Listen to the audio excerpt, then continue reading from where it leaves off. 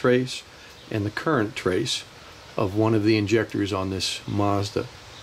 Now, some of the things we need to use, maybe a little bit different than you've used on other scopes, will be an attenuator and also an inductive amp probe. There's the attenuator. You can see it's a 20 to 1 attenuator. What's happening is on these injectors we may see voltages upwards of 100 volts.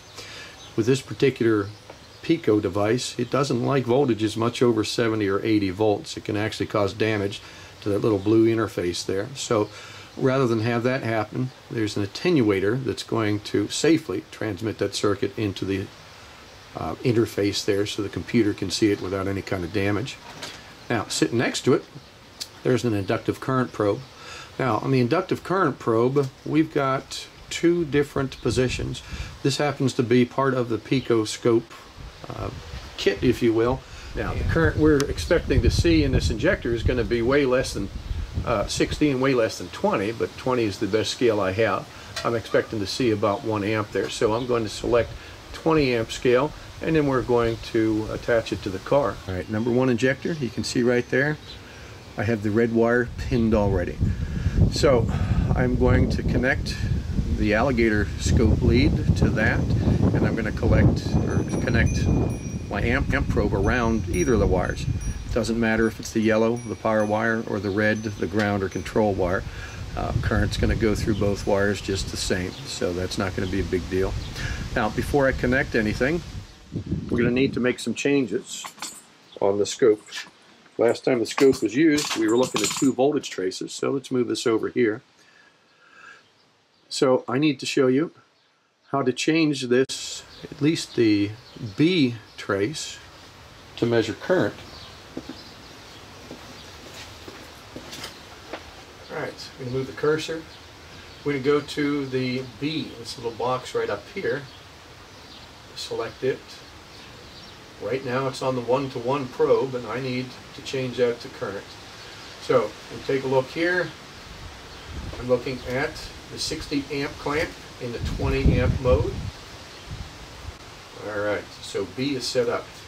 I also have to change the A, because as I mentioned when we were looking at injector voltages, it may go over that 70 to 80 volt range. So I need to tell the computer here that I am running a 20 to 1 attenuator. Alright, so there's the attenuator in place between the lead and the interface. I'm going to make the connection on the ground wire or the control wire using my meter lead or the scope lead. So try not to get into the picture myself other than this. Alright, so I grab that pin there. Next thing then, I'm going to go ahead and take the probe, I'm going to turn them on. It has a zero button, so I'll hit the zero button and then I'll clamp it around one of the wires. Now, it does it matter which wire? No, current is current. Doesn't matter if it's on the positive side or the negative side. However, the direction, I may need to account for that when we start it up and take a look and see what we have. All right, so there's the connections.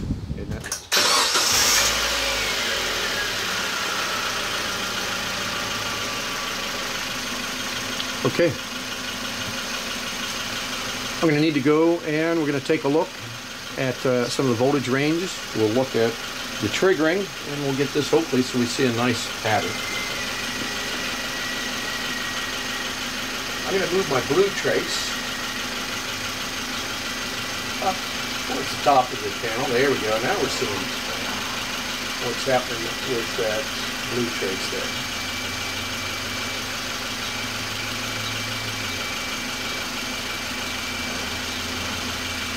Okay. I'm going to go ahead and change my trigger. We'll look at the trigger. The trigger now is looking for a rising edge. I prefer to trigger on the falling edge because I know this injector is controlled by grounding it. So that's my preference when it turns on. Voltage looks okay. Time, if I want to, and I do, I'm going to zoom in a little bit so we get a better look at that trace. I'm going to go down to uh, Two milliseconds, see what that looks like. That's a pretty good picture there. Now, we've got some kind of issues here. Getting a little bit of noise there. I'm going to go ahead and change this trigger up a little bit, see if maybe it makes it a little bit happier. Alright, I'm going to have to change the time frame.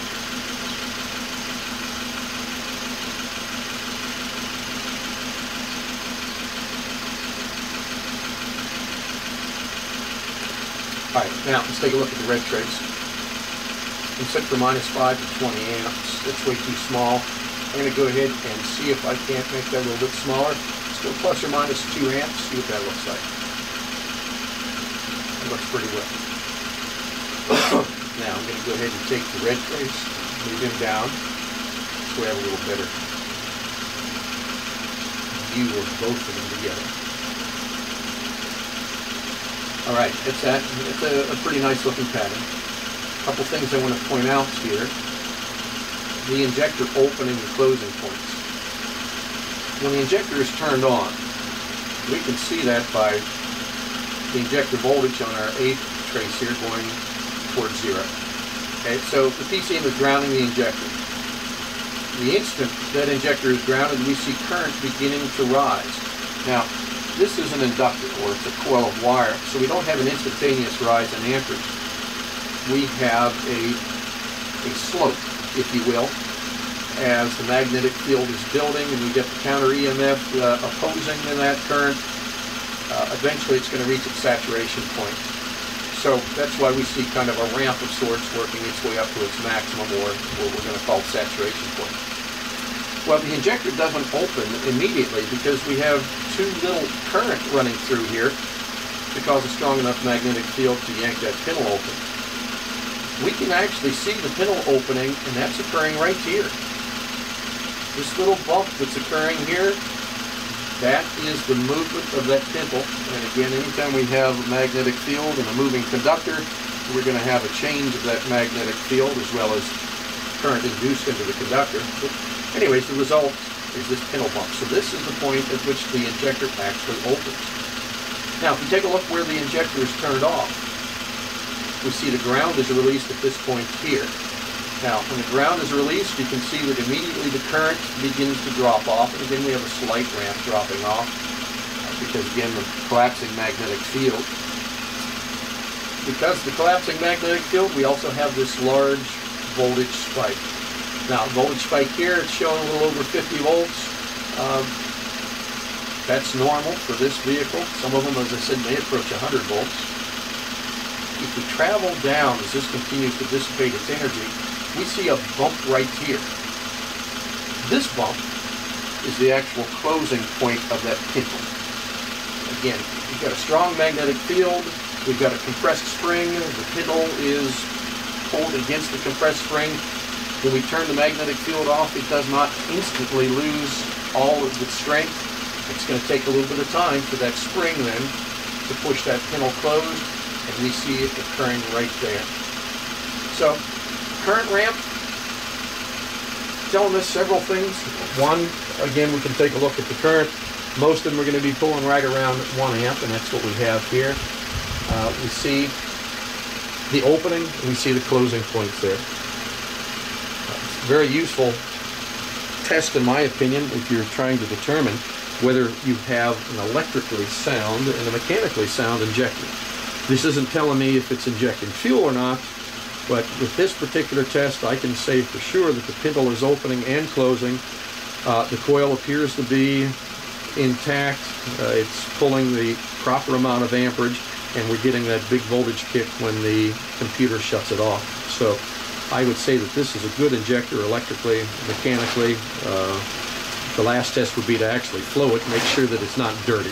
I could have dirt clogging the pintle, uh, or the, sorry, the orifice in the end of this injector. Uh, this test won't tell me that, but this at least tells me I do have a good injector. It is, uh, the electrical integrity is sound, uh, mechanically is opening and closing. And that's all I've got for this one. Here's current ramping and uh, looking at the voltage trace of an injector.